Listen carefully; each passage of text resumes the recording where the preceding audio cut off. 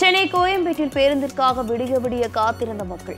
பேருந்துகள் கிடைக்காமல் குழந்தைகளுடன் காத்திருந்த அவலம்.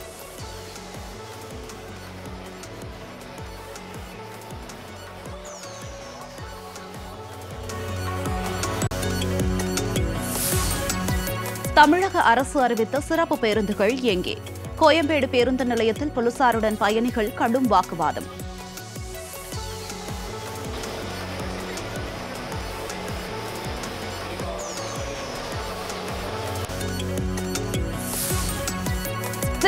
திருவாரூர் மயிலாடுதுறை திருச்சி பெரம்பலூர் உள்ளிட்ட பகுதிகளுக்கு மிக குறைந்த அளவிலேயே பேருந்துகள் இயக்கம்.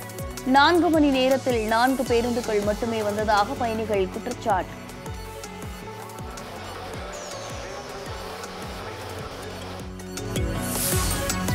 தீபாவளி பண்டிகைக்காக சொந்த ஊர் சென்ற மக்களுக்கு போதிய பேருந்துகள் இயங்காததால் கடும் அவதி.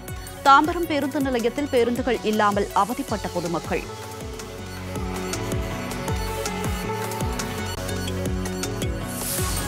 சென்னை கிளாம்பாக்கம் பேருந்து நிலையத்தில் பேருந்துக்காக காத்திருந்த மக்கள் அடிப்படை வசதிகள் செய்து தராததால் பயணிகள் அவதி.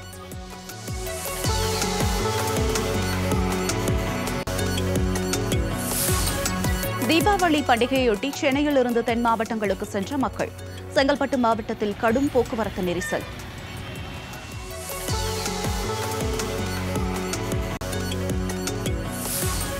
தீபாவளி பண்டிகையை கொண்டாட சொந்த ஊர்களுக்கு படையெடுத்த மக்கள். சென்னையை அடுத்த சிங்கப்பெருமாள் கோவில் பகுதியில் கடும் போக்குவரத்து நெரிசல்.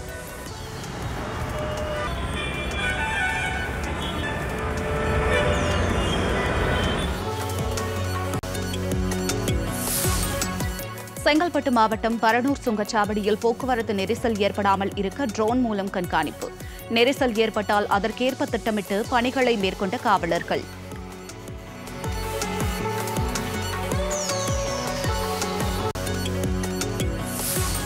மதுரை விரகனூர் சுற்றுச்சாலையில் கடும் போக்குவரத்து நெரிசல். தீபாவளி பண்டிகைக்காக மக்கள் சொந்த ஊர் சென்றதால் சுமார் ஐந்து கிலோமீட்டர் அணிவகுத்து நின்ற வாகனங்கள்.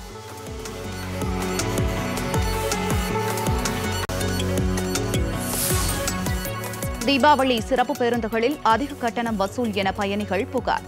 சிறப்பு பேருந்துகள் முப்பது கிலோமீட்டர் வேகத்திற்கு மேல் செல்லவில்லை என ஓட்டுநர்கள் வேதனை.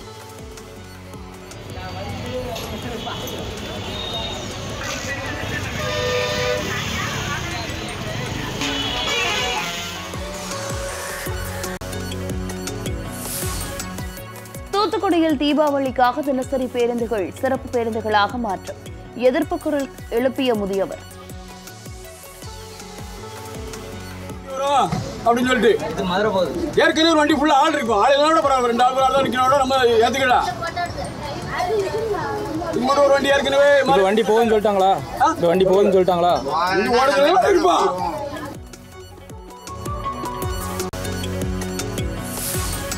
தீபாவளியையொட்டி கோவை திண்டுக்கல் இடையே முன்பதிவில்லா சிறப்பு ரயில். இன்று முதல் பதினான்காம் தேதி வரை இயக்கப்படும் என தெற்கு ரயில்வே அறிவிப்பு.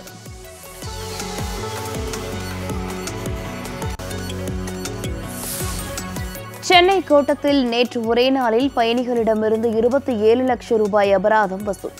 டிக்கெட் எடுக்காதது பட்டாசு எடுத்து சென்றது தொடர்பாக நான்காயிரத்து அறுநூற்று ஐம்பத்தி ஏழு வழக்குகள் பதிவு.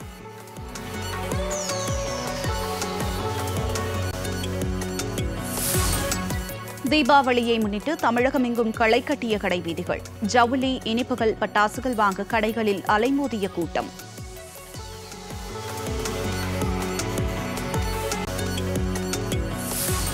சென்னை தியாகராய நகரில் பாதுகாப்பு ஏற்பாடுகள் குறித்து சென்னை காவல் ஆணையர் சந்தீப் ராய் ரத்தோர் ஆய்வு. இன்று அதிகளவு கூட்ட நெரிசல் ஏற்படும் என எதிர்பார்க்கப்படுவதால் தீவிர கண்காணிப்பு.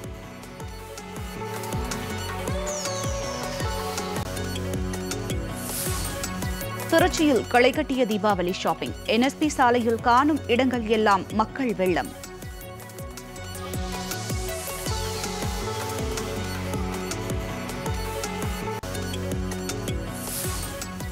தீபாவளி பண்டிகையை முன்னிட்டு தேனி நகர் பகுதியில் புத்தாடைகளை வாங்க குவிந்த பொதுமக்கள். ஒரே நேரத்தில் ஏராளமானோர் குவிந்ததால் கடும் போக்குவரத்து பாதிப்பு.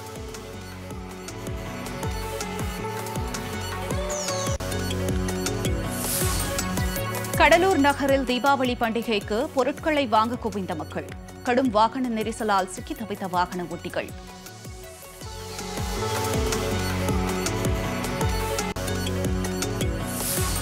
கரூரில் தீபாவளிக்கு பொருட்களை வாங்க பஜார் பகுதிகளுக்கு படையெடுத்த மக்கள். இரவிலும் குவிந்த மக்களை பாதுகாத்த போலீசார்.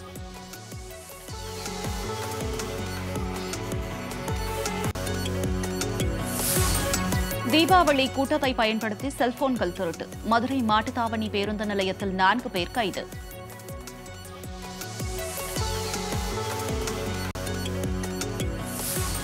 வாலியம்பாடி அருகே அரசு சொகுசு பேருந்தும் தனியார் ஆம்னி பேருந்தும் நேருக்கு நேர் மோதி விபத்து.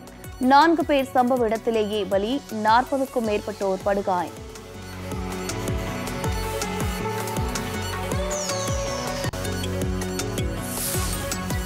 தீபாவளியையொட்டி அரசு அலுவலகங்களில் வசூல் வேட்டையில் ஈடுபடும் அதிகாரிகள். புதுக்கோட்டை ராமநாதபுரம் உள்ளிட்ட மாவட்டங்களில் லஞ்ச ஒழிப்புத்துறை அதிரடி ரெய்டு.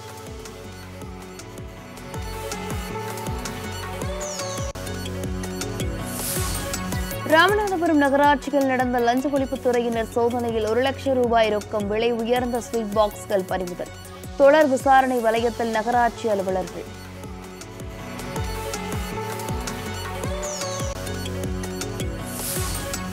திருச்சி பாலக்கரையில் செயல்படும் மாவட்ட வேளாண்மை விற்பனை மற்றும் வணிகத்துறை அலுவலகத்தில் லஞ்ச ஒழிப்புத்துறை சோதனை. கணக்கில் வராத பத்து லட்சம் ரூபாய் சிக்கியதாக தகவல்.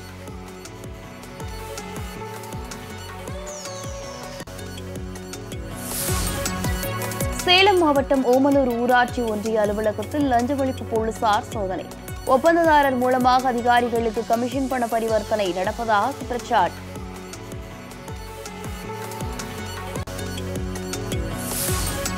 தனிநபர்களுக்கு சொந்தமான பட்டா நிலத்தில் அத்துமீறி சாலை அமைத்த விவகாரம். மதுரை மாவட்ட ஆட்சியர் நேரில் ஆஜராகி விளக்கம் அளிக்க உயர்நீதிமன்ற மதுரை கிளை உத்தரவு.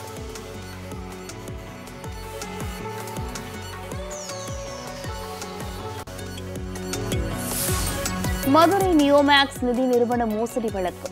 சரணடைந்த முன்னாள் திமுக பிரமுகர் வீட்டிலிருந்து ஆறு லட்சம் ரொக்கம் நாற்பத்தாறு கிராம் தங்கம் பறிமுதல்.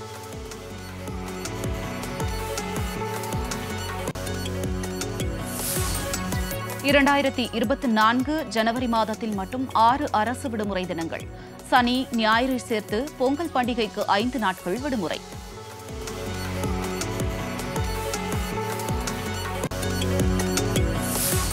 தமிழ்நாட்டில் தீபாவளிக்கு பிறகு வடகிழக்கு பருவமழை தீவிரமடைய வாய்ப்பு. நவம்பர் பதினேழாம் தேதிக்கு பிறகு வங்கக்கடலில் புதிய காற்றழுத்த தாழ்வு பகுதி உருவாகக்கூடும் என இந்திய வானிலை ஆய்வு மையம் தகவல்.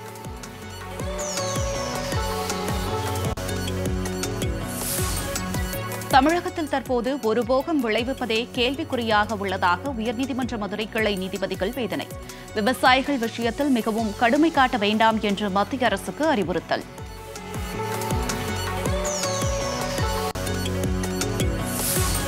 விழுப்புரத்தில் மகளிர் உரிமைத் தொகை கிடைக்கவில்லை என கூறிய அமைச்சர் செஞ்சி மஸ்தானை முற்றுகையிட்ட பெண்கள்.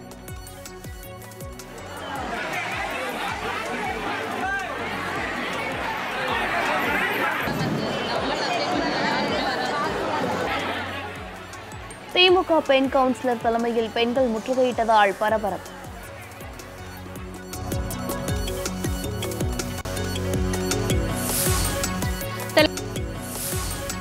கர்நாடக பாஜக தலைவராக எடியூரப்பாவின் மகன் விஜயேந்திரா நியமனம்.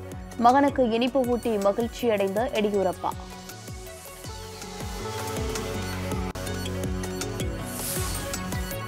தீபாவளியை முன்னிட்டு குர்கான் டெல்லி விரைவு சாலையில் போக்குவரத்து நெரிசல்.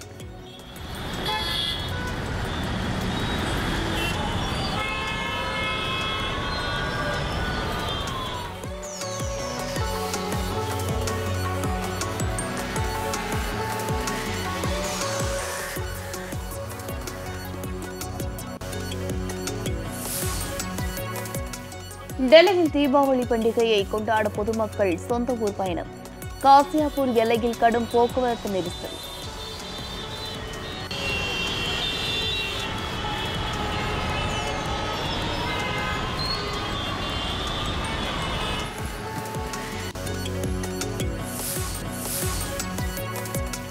மகாராஷ்டிராவில் தீபாவளி பண்டிகையை வரவேற்க காத்திருக்கும் மக்கள் நகை கடைகளில் நிரம்பி வழியும் கூட்டம்.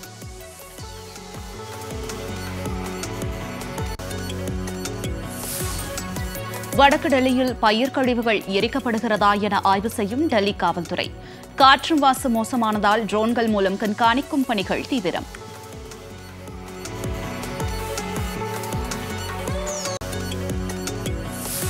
டெல்லிக்குள் நுழையும் வாகனங்களை தடுத்து நிறுத்தி சோதனை.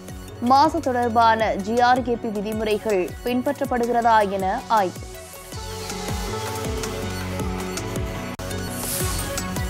திருவண்ணாமலை அருணாச்சலேஸ்வரர் கோவிலின் ராஜகோபுரம் எதிரில் அடுக்குமாடி வணிக வளாகம் கட்ட தடை. உத்தரவு பிறப்பித்த நிமிடத்திலிருந்து தடை உத்தரவு அமலுக்கு வருவதாக சென்னை உயர்நீதிமன்றம் அதிரடி உத்தரவு. மதுரை அவனியாபுரம் அருகே கண்மாயில் பொங்கும் நுரைக்கு திரை போட்ட மாவட்ட நிர்வாகம். காற்றில் பறக்கும் நுரையை தடுக்க புதிய யோசனை.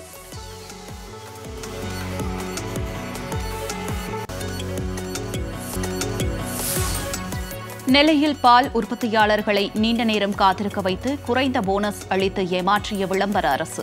காசோலை அளிப்பதாக கூறி வங்கி புத்தகத்தை கவரில் கொடுத்து அனுப்பிய அவலம்.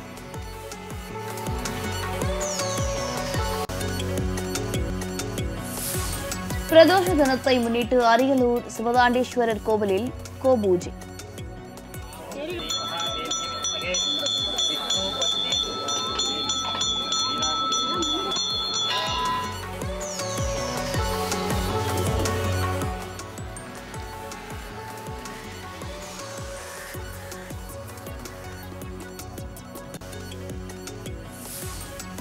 பத்து கோடி பார்வைகளை கடந்து ஜெயிலரின் ஹுக்கும் பாடல் சாதனை. வீடியோவை வெளியிட்டு படக்குழு பெருமிதம்.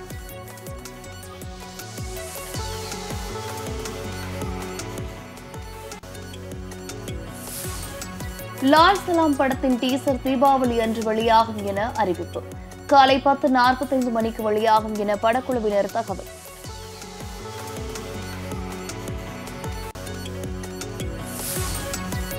ஆசிய சாம்பியன்ஷிப் வில்வித்தை போட்டியில் இந்திய வீராங்கனை பிரணீத் கவுர் தங்கப்பதக்கம் வென்று அசத்தல் சர்வதேச அளவில் பிரணீத் கவுர் வென்ற முதல் தங்கப்பதக்கம் இதுவாகும்.